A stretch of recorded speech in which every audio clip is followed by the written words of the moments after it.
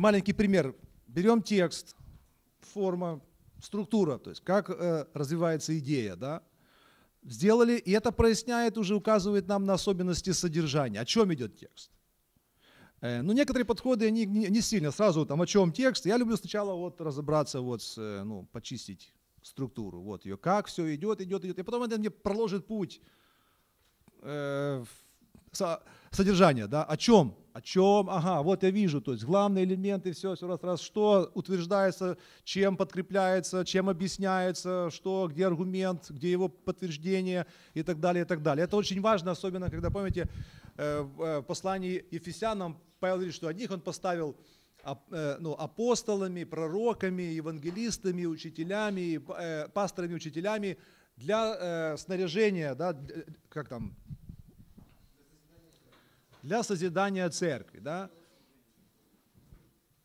Сейчас я, чтобы не быть голословным, так вот открою себе. И вот это бывает целый спор между пасторами, философия служения, а у нас вообще в основе философии служения. Что вы нам придумаете? У нас Библия в основе. Вот мы вот, у нас это 4, 11, вот вся наша философия. И вот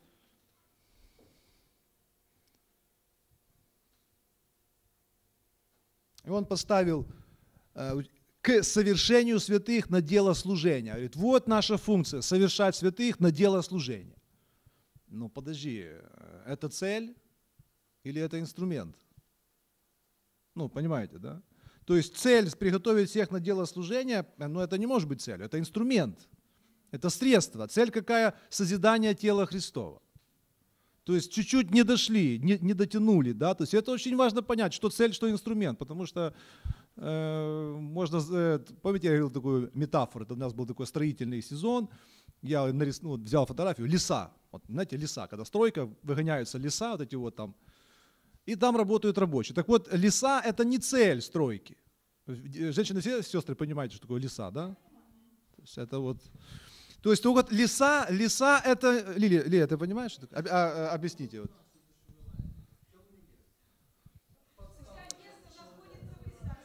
Когда строится дом, эти, выгоняются такие, там доски стоят, и чтобы можно было подниматься, вот это вокруг стройки, эти вот э, леса. Так вот, леса это не, это не цель стройки, это средство. Так вот здесь то же самое, приготовить народ, э, это леса, это, это мы выгоняем леса. И апостол, это все леса, это не есть средств. Э, цель. Цель есть созидание тела Христа. Но опять же, а что такое э, созидание? Это доколе все придем в единство веры и познания Сына Божия. В мужа совершенного, в меру полного возраста Христова. То есть, чтобы мы все, в нас, мы созрели в Христа все вместе. Вот она цель. Вот что значит дом строится. Потому что проходит 10 лет, смотришь, а что там у вас внутри лесов, там что-то построилось или нет. И у нас такое служение, у нас там это, ну это классно, а вы уже на Христа стали похожи. Ну, понимаете, да? И здесь тоже вот, э, и при том, что э, это очень важно для вас, э, да, для мессианского еврейского библейского суда, потому что Павел здесь начинает богословие, потрясаю, Ефесянам это просто венец богословия Павла. Обычно ставят там в основу послания к Римлянам, но, но Ефесянам это просто бомба. И он, э, интересно, э, опять же, эта идея примирения – евреев и язычников во Христе, он, он начинает, особенно это видно по местоимениям в первой главе, то есть мы, нет времени, но там вот, э, помните, ключевые слова, он говорит, что мы получили, мы, мы, а потом и вы. То есть мы, мы, говорит, от лица евреев, а потом и вы, говорит язычника, а потом он соединяет их. И теперь наша общая задача, чтобы Христос в нас был. Вот это все остальное леса апостолы, пророки, евангелисты, пасторы, и пасторы готовят всех на служение. Это не, это не цель, это средство. Доколе мы не придем вот в единство веры, вообще в единство, пока у нас не созреет Христос. И это отношение, это все. Понимаете, да? Вот, вот в тексте, поэтому нужно разложить текст и посмотреть, где точка стоит. Где стоит точка, где есть цель, к чему идет текст, да?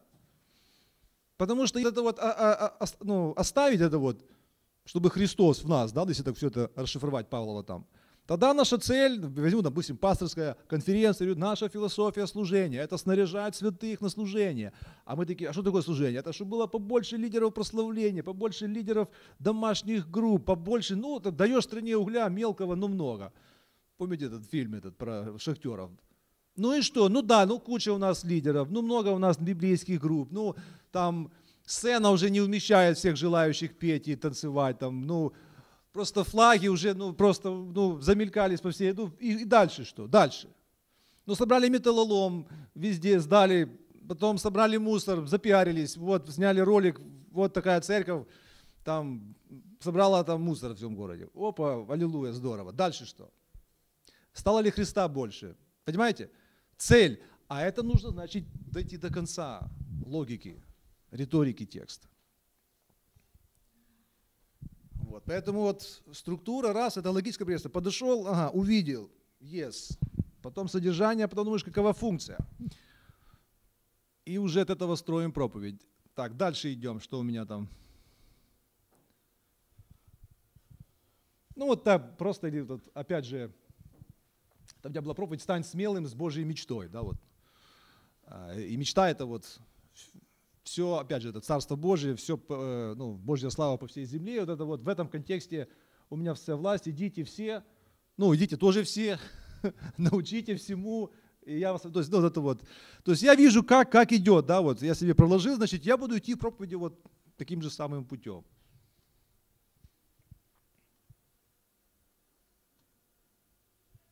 Ну вот, опять же, я говорил этот э, филиппийцам, да, тоже берем этот гимн, и смотрим структуру. У вас там есть в старых э, этих конспектах. Он, будучи образом Божьим, не почитал хищением быть равным Богу, но уничижил себя самого, и вот тоже идет перечисление, как ну, параллелизм, да, синонимический. Каким образом? Уничижил, приняв образ раба, сделался подобным человеком, по виду став как человек, потом уничижил, смирил себя, то есть это уже э, вновь, это главнее, да, глагол действия, чем вот это вот. Значит, уничижил себя, а потом вот смирил себя, опять э, развитие, был послушным даже до смерти и смерти крестной. И вот крест, вот он, значит, здесь периодный момент. Поэтому и Бог превознес его, и дал имя ему выше всякого имени. То есть Бог превознес и дал ему выше всех. Одна и та же идея. Чтобы дал ему имя выше всех, значит, как чтобы перед ним теперь преклонилось всякое колено, смотрите, небесных, земных и преисподних. И всякий язык исповедовал. Значит, вот преклонилось всякое колено, и всякий язык исповедовал. То есть одна идея, что Господь Иисус Христос в славу Бога Отца. Но здесь интересна функция этого гимна. Сам по себе гимн такой христологичен, все, но в послании мы должны посмотреть, что он включен в моральный контекст, то есть в этический контекст. Потому что Павел пишет, что чтобы вы имели одни и те же мысли. Помните, это вторая глава Филиппин, чтобы молюсь, братья, чтобы вы имели одни и те же мысли, что думали одинаково, чтобы не, не о себе только каждый заботился, и не о своем благе думал, но и о благе друг друга. А, и молюсь, чтобы ваши были мысли, как во Христе. И вот он пишет, как во Христе. Это смирение, уничижение и так далее, и так далее. То есть мы видим контекст. Вот даже, и вот, пожалуйста, пункты для проповеди. Это что такое объяснительная проповедь, да? Ну, так как проповедь э, – это не лекция по экзегетике э, гимна, а проповедь, которая убеждает или вдохновляет что-то сделать, то что вы здесь, вот, на основе этом тексте, чему можно, э, на что вдохновить или на что убедить, чему убедить можно церковь?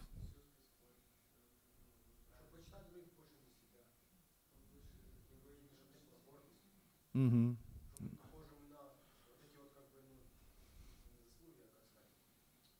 Ну вот качество.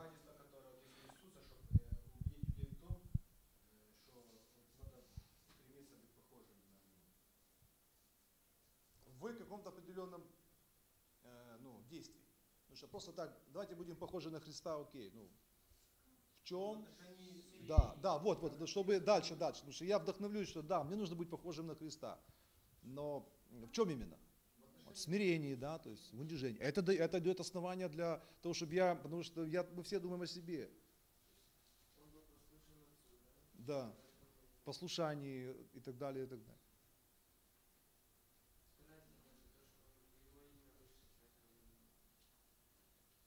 К чему мы хотим, и тогда, окей, выше, дальше что?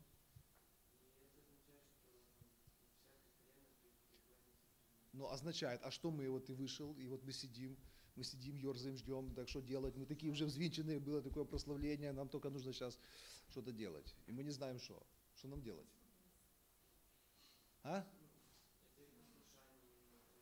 В чем? В чем? Опять же, видите, хорошо, послушание. В чем? А теперь смотрите, вот есть. Например, дабы перед ним преклонилось, и всякий язык исповедовал. Давайте сейчас пойдем и в нашем городе будем исповедовать имя Иисуса Христа и там тем, что мы там расскажем соседу Евангелие, или там поможем э, тете Соне там э, починить кран, кран и скажем, что мы это сделали во славу Господа. То есть, ну, какое-то конкретное действие, да, то есть мы идем исповедовать имя Иисуса Христа, потому что Он такой великий, такое величие, Он смирил себя, все, мы идем смиренные, все, служить этому миру, или проповедовать, если нам нужно рассказать Евангелие, либо действительно во славу Его сделать. Э, вот, кстати, вот, э, когда я начинал цикл по Павлу, интересный момент, он был такой э, заводной, когда был, ну, экстремальным иудеем таким, ультра, ультрас таким, и таким же остался, когда То есть тем же запалом, как он шел в Дамаск, так он туда дальше и пошел, только уже с другим, да. И вот интересный момент, да, у каждого у нас есть какая-то особенность нашего характера. В данном случае у Павла такая вот э, последовательность, запальчивость, такая взвинченность, да, такое вот у него от, от природы. И есть у нас у каждого такая одна способность, которая характеризует нас с положительной стороны, да. Допустим, кто-то говорит, вот я не знаю, говорит, ну какое у тебя качество обычно? Ну вот я вот я могу просто сидеть и слушать. Ну, слушай, здорово. Множество людей нуждаются, чтобы их выслушали. И кажется, ну что это за заслужение? Слушай, пойди в больницу к больному там, брату или сестре, то сядь рядышком, возьми руку и слушай, что человек тебе расскажет. Ты час-два посидишь, послушаешь, ему станет легче. Э, это не серьезно? Но многие люди нуждаются, чтобы их просто сели, и, ну, не, не, не, ну, не балаболы, которые там нужны уши свободные, да, или, ну, какое качество у тебя есть? Ну, у меня есть такое вот, вот терпение, да. Вот, слушай, я сейчас подведу человеку, кто, вот его нужно вытерпеть. То есть масса вещей. У нас у каждого есть какая-то, ну, способность, не, не, смотрите, не дар, не умение, да, способность, какая-то черта характера которая, в принципе, ну, такая, ну, основная, да, которая, в принципе, нас э, характеризует, тихоня, или наоборот, слишком разговорчивый, активный, или, значит, я говорю, возьмите одну, одну вашу способность, приложите ее к одному делу, во имя Иисуса Христа, и вы увидите, как будет здорово, как поменяется мир, и вы сами. То есть, понимаете, да? Одну всего лишь вашу способность для какого-то одного конкретного дела –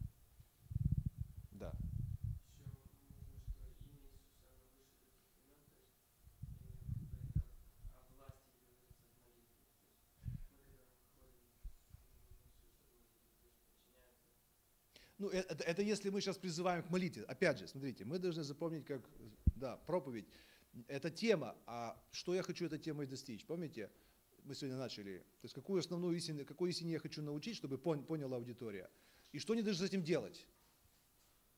Понимаешь? Делать. Если мы включаем список делания молитва с э, властью, значит, давай значит, призывать. Но мы не только молимся, мы же не только люди молитвы. Люди отношений, люди действий, люди, люди поступков, да. То есть, значит, да, вот можно, но проповедь должна иметь э, глагольное действие. То есть, помните, тезис «я хочу своей проповедью убедить или вдохновить, сделать». Иисус, властелин Господь, окей, что теперь с этим сделать? Самому подчиниться, да, и в каком-то деле смириться, да, то есть и так далее. То есть всегда нужно сформировать глагольное действие, что с этим делать.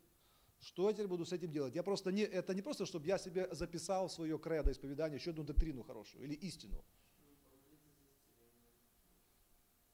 Ну да, ну хорошо, ну, ну есть как, да, согласен. Ну, смотрите, ребята, есть вещи очевидные. То есть молитва, если ты видишь, что люди перестали молиться, да, вообще, или вялая, то есть нужда, да, нужда церкви, вялая молитва, никто, значит, ну, нужно побудить или вдохновить. Если окей, ну молимся, все нормально, то есть, поэтому можно это включить, но еще целый спектр, но главное, чтобы это было в действии. Все понимаете, да? Цель проповеди не сообщить какую-то истину. а применить какую-то истину. В конкретном одном применении, которое вы должны указать человеку. Этим проповедование отличается от обучения, которое тоже, тоже должно быть э, в классах, в семинарах. Это может быть и на проповеди, то есть ну, обучение. Но мы сейчас говорим о проповеди как событии, как действии, да, то есть я беру этот вид проповеди. Всем понятно, да? Проповедь не сообщает истину. Проповедь трансформирует истиной, вдохновляет или убеждает эту истину применить в какой-то, какой-то сфере нашей жизни. Вот чем отличается проповедь от обучения, лекции или семинара. Вот еще раз, чтобы это, если вот вы это поймете, тогда вот ну, откроются двери в трансформирующую проповедь. Без, без меня. То есть, о, проповедь не сообщает, не, инфи, не, не информирует, она трансформирует. Мы должны помочь человеку эту истину воплотить, применить в каком-то конкретном деле, которое тоже мы должны сказать. Просто, а теперь вот подумайте, где, если это мы это сообщение, можно закинуть. Как вы думаете, где можно это применить? Это люди, ага, то есть сами активизируют, а, а, ну, активизируют память, думают. Но это, в принципе, если у нас хорошая интеракция, вы заснули, я хочу вас вернуть ваше внимание. Но на самом деле я уже должен проложить путь, показать, где это дело. Это служение, пророческое служение проповеди. Учительное, учительное там, какое хотите, но это проповедь, проповедование, не лекция, не обучение. Есть? Этот текст понятен, да? Давайте посмотрим еще какие-то тексты. Ага, вот интересный момент, текст, да? Смотрите, тут очень это. Если же согрешит против тебя брат твой, пойди и обличи его между тобой и им одним. Если послушает тебя, то приобрел ты брата твоего. Видишь, тут, тут видите, если, то как уже легко, то есть угадывается, какая идет логика. Если же не послушает, да, второе утверждение. Возьми с собой еще одного или двух, дабы устами двух или трех свидетелей подтвердилось. Всякое слово, да, налупили там, в общем. А, признавайся. Если же не послушает их, скажи церкви. Видите, три уже э, равнозначных утверждения, которые там ну, где-то развиваются в, э, до своего логического конца. А если и церкви не послушает, смотрите, после трех «если же», да, а если и церкви не послушает, то да будет он тебе как язычник и мытарь. Бедные мытари. А потом, смотрите, интересный, есть параллелизм, да? Истинно говорю вам, что вы свяжете на земле, то будет связано на небе. И что разрешите на земле, то будет разрешено на небе. Здесь идет параллелизм. И немножко как и в общей форме э, ну, миризма, да, то есть небо-земля. Вот. А в чем, э, к чему э, подводится вся? Истина также говорю вам, если двое из вас согласятся на земле просить о всяком деле, то чего бы ни попросили, будет им от Отца Небесного. Ибо где двое или трое собраны, во имя Мое, там я посреди них. Так, какие еще мы можем структуры? Так, это мы все видели, все это говорили. А? Нет?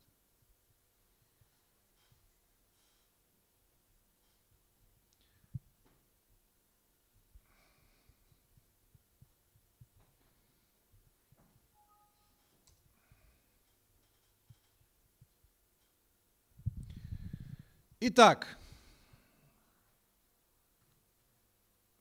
все остается теорией и информацией, если мы не начнем это все делать.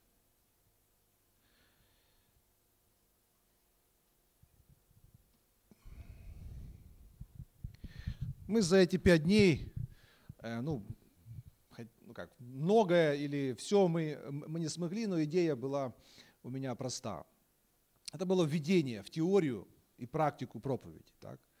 Гомилетика – такая обширная дисциплина, которая имеет еще некоторые специальные да, ну, направления или специальные курсы, которые будут касаться, например, более такого углубленного подхода к изучению Писания или даже проповеди из каких-то определенных э, книг Писания. Есть вот, я вам вчера говорил, да, есть там проповедь, там курс как или книги, как проповедовать Христа из Ветхого Завета, или из книги Бытия или проповедь из псалмов, проповедь из апостола Павла, проповедь и вообще из ветхозаветных повествований, или проповеди, проповеди на притчи Иисуса Христа. То есть уже такие э, специализированные, да, то есть проповеди.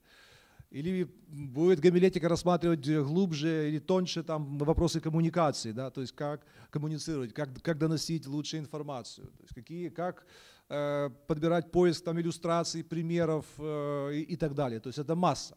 Мы сделали только введение, то есть это всего лишь введение в теорию, практику проповеди.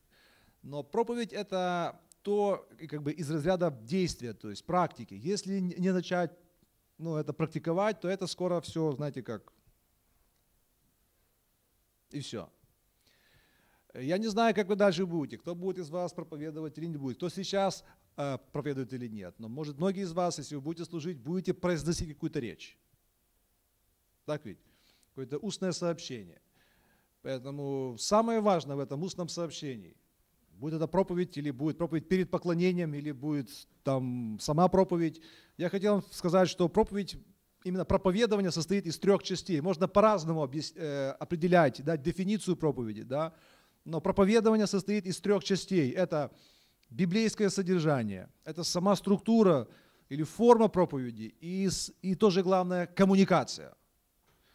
И все элементы очень важны. Если нет библейского содержания, какая бы ни была увлекательная ну, манера речи, коммуникация, какие бы примеры ни привелись, ну, это не будет проповедь Божьего, Божьего Слова.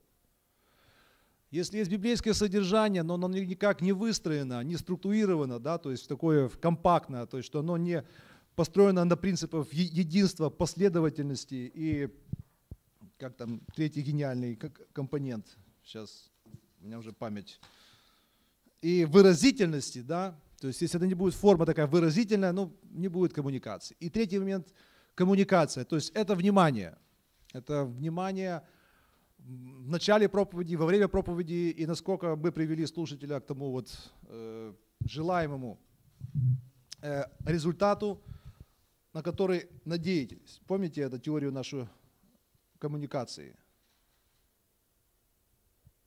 Сейчас. Еще раз мы посмотрим. Итак, мы берем библейское сообщение, да, в первую очередь мы вступаем с ним в коммуникацию, мы работаем с текстом, мы изучаем его. Нам нужно его понять. Потом, как только мы изучили текст, да, мы формируем гомилетическую идею, то есть идею и потом, то есть что мы хотим сказать. Помните, здесь мы берем один текст, одна тема, одна библейская истина и одно применение. То есть мы уже видим, что хотим сделать. Мы формируем сигнал и потом э, делаем структуру, делаем план проповеди, да, то есть либо мы пишем, либо мы запомнили или делаем PowerPoint, но у нас должна быть форма, да, структура. Затем мы вступаем в коммуникацию, дальше передаем сигнал получателю. И здесь вот мы говорили сегодня, да, то есть как ну, а, э, лучше вот, когда есть карта какая-то, да, с чего начать, там, допустим, я, вы, Бог, там, мы, то есть вы и мы, да, то есть вся эта схема, то есть все это работает на то, чтобы донести, донести этот сигнал, да, донести дальше и вложить в это в сознание. То есть мы хотим вдохновить или мы хотим убедить, но что-то делать. И вдруг получатель понял, и, конечно же, будут шумы, но нужно их преодолеть. И получатель понял, значит, наша коммуникация, наша проповедь, Божье Слово достигло своего назначения. И между источником информации и Божьим Словом, а мы были его ретрансляторами, да, передатчиками, да, установилась взаимосвязь, коммуникация. Потому что, помните, сказал, что главное коммуникативное намерение, желание библейского текста – это э. Э, чтобы мы были его ретрансляторами, передали его дальше. То есть так было всегда. Родители передавали детям, пророки народу, учителя, проповедники, апостолы учили. И в этом э, миссия библейской проповеди. Вот совершить эту коммуникацию –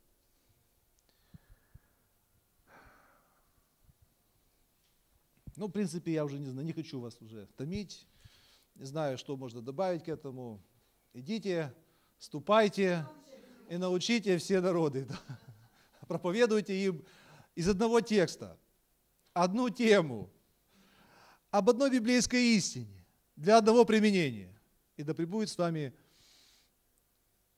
во все дни до скончания века Ишуа Машьях. Аминь.